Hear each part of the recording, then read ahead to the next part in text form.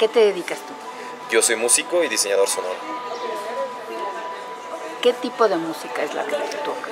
Eh, principalmente hago folk como, y lo mezclo con un poquito de música del mundo, hago sonido para películas, hago música este, hecho para danza, para teatro, para cine, o sea, música un poco cinemática, le diría. ¿Y em, algún, alguna película, algún documental donde aparezcas tú que me puedas Pues decir? eh, últimamente he aparecido más en, en exposiciones y en videomappings. Estuve con una, con una pieza en TAG CDMX, otra en el, en, en el Museo de la Ciudad de México. Este, más como con, con piezas de, de ese, de ese estilo. Y eh, las dos veces en las que tú ya has participado, ¿qué has sacado?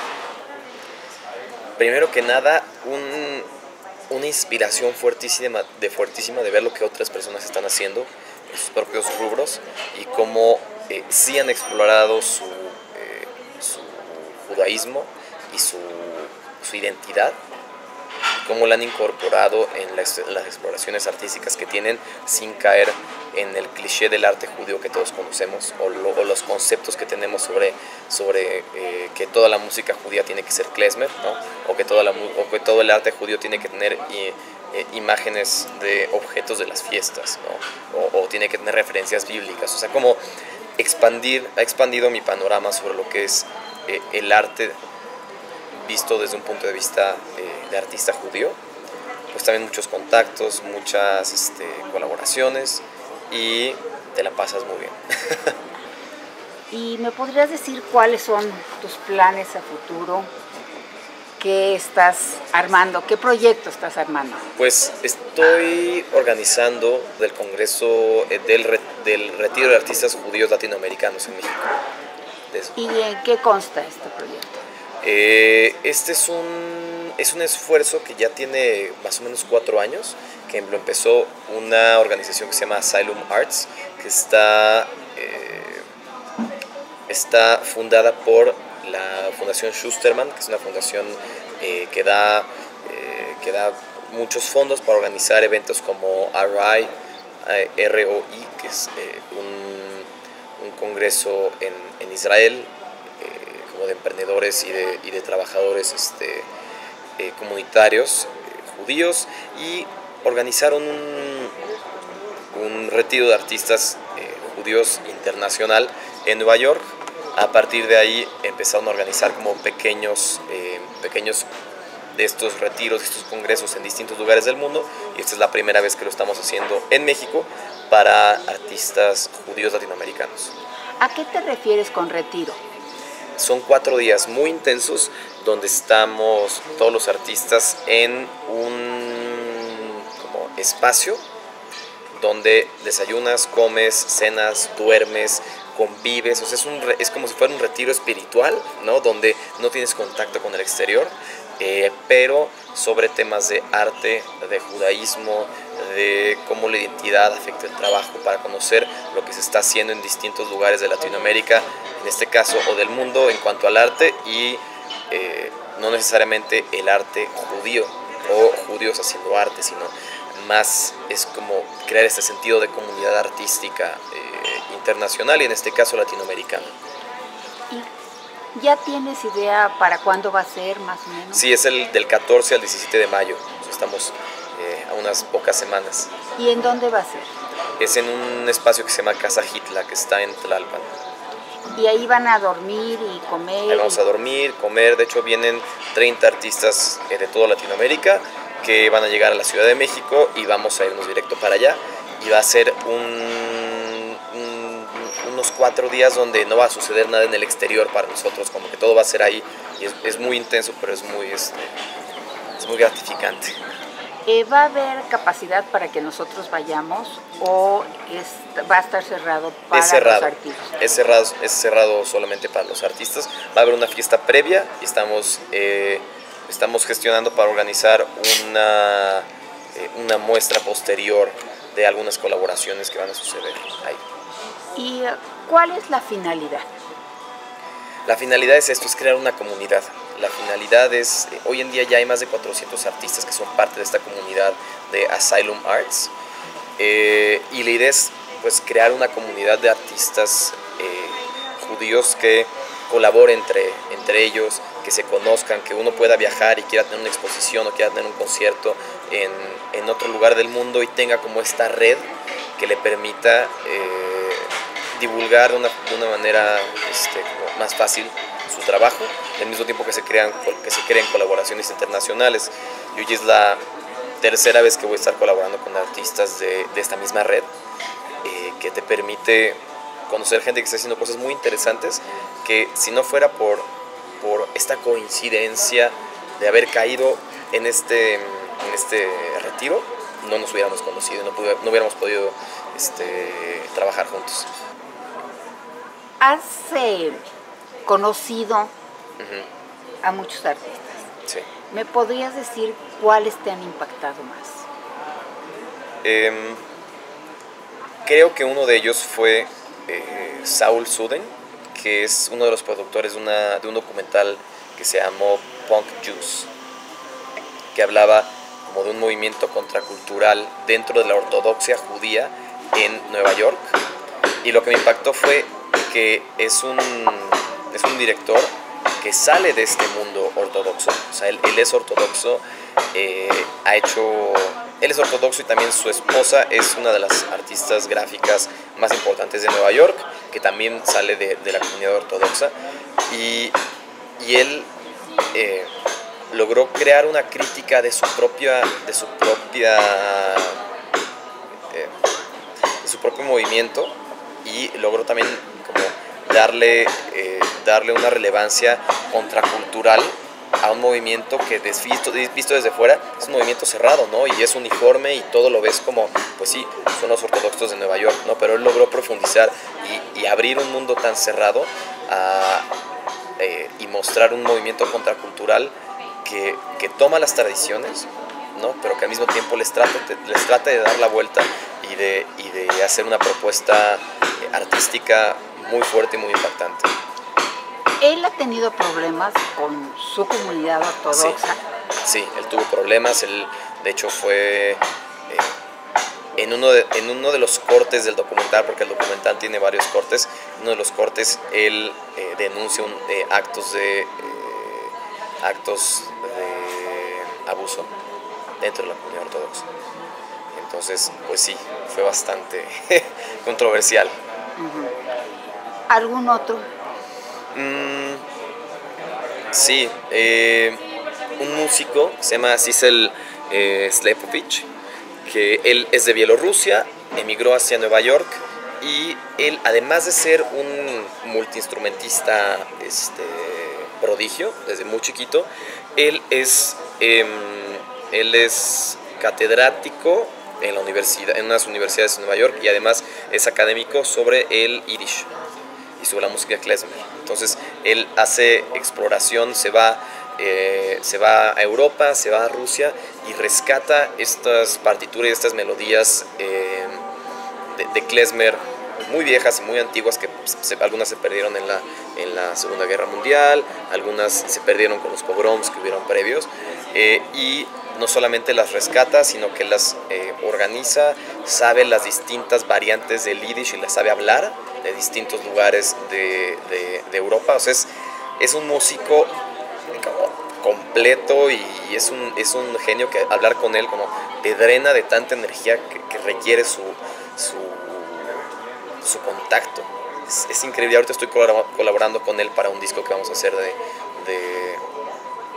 de, música eh, con influencias judías, pero con músicos de distintos lados del mundo, de Argentina, de Estados Unidos, de Israel, y de México. Eh, me dices que vienen 30 personas de fuera. Sí. ¿Y cuánta gente esperas que llegue a este proyecto de México? De México ya tenemos seleccionadas a las personas de México. Eh, son ocho artistas mexicanos que van a estar participando también en el en el retiro. O sea, estos artistas son en diferentes... Eh, diferentes ramos. Tenemos desde escritores, tenemos este, fotógrafos, músicos, tenemos una directora de teatro, o sea, tenemos eh, un, un, abanico muy grande de, artistas. Y, y también a mí lo que me, lo que me parece interesante del, del, del, movimiento y del, y del retiro es que tiene una visión tan amplia de lo que es ser un artista, que han venido desde, desarrolladores de videojuegos, curadores, eh, escritores, eh, músicos. El año pasado también vino un artista muy interesante que es un, un chavo eh, estadounidense, converso. Es, es, un, es, un, chavo que, que, que descubrió digamos, el judaísmo y se clavó, él es cantante de ópera y se clavó muchísimo, ¿no? Se puso a estudiar, se puso a estudiar y descubrió también el, eh, como ese estilo de canto del Hazan Ashkenazi. Entonces se volvió un Hazan Ashkenazi, cantante de ópera estadounidense, converso, homosexual negro. O sea, es como un, un personaje que se está abriendo campo dentro del, del, del movimiento, digamos, musical litúrgico en Estados Unidos, ¿no? y, que nos platicara su historia y de las, de las dificultades que ha tenido y como del, del impacto que ha tenido fue muy, muy impresionante y muy interesante. O sea, el, el, el este, este congreso y estos encuentros te dan la oportunidad de conocer gente así de interesante y, y de ver ¿no? hasta dónde puede llegar lo que sea un artista judío. Y, eh, ¿Qué perspectivas tienes para este Congreso? Primero que nada espero que, eh, que los artistas que vengan de fuera se enamoren de México, vengan aquí a hacer eh, su arte. También que la, que la misma comunidad artística de México se abra y conozca, eh, conozca lo que se está haciendo de fuera, eh, porque siento que todavía, tenemos mucho donde explorar, mucho donde abrirnos puertas como artistas dentro de la comunidad y fuera de la comunidad, ¿no? que logremos eh, ver que hay un mundo afuera donde uno puede salir con la bandera de artista judío y, y defenderla, ¿no? y decir, venimos de una comunidad judía de México donde habemos muchos artistas que estamos haciendo cosas muy interesantes y que, y, que, y que generemos, generemos una comunidad de artistas dentro de la comunidad judía. Eh, espero también que salgan muchas colaboraciones, nos pasamos muy bien, y que la misma comunidad se dé cuenta de la riqueza artística que tenemos y de esta oportunidad que tenemos de tener estos artistas aquí y de, y de aprovecharlos. ¿Cómo ves tú la cultura del arte en general en México y en la comunidad? Bueno, en lo general, México es un lugar con una cultura eh, brutal. O sea, yo siento que la Ciudad de México está vibrando en cultura y es nada más, tienes que levantar una piedra, ¿no? Y hay un movimiento, hay una exposición, hay un, hay un mural. O sea, siento que, que la cultura en la Ciudad de México a veces hasta es este, eh, a veces hasta es demasiado, necesitas, necesitas elegir ¿no? qué, es, qué es lo que quieres seguir. Eh, lo que siento de la, de, la, comunidad es que tenemos mucha gente que hace cosas muy interesantes, muchos artistas que, eh, que no encuentran un espacio de desarrollo profesional artístico, tanto por las expectativas que tiene uno sobre, sobre su comunidad o sobre uno mismo, ¿no? En relación a la comunidad y las necesidades.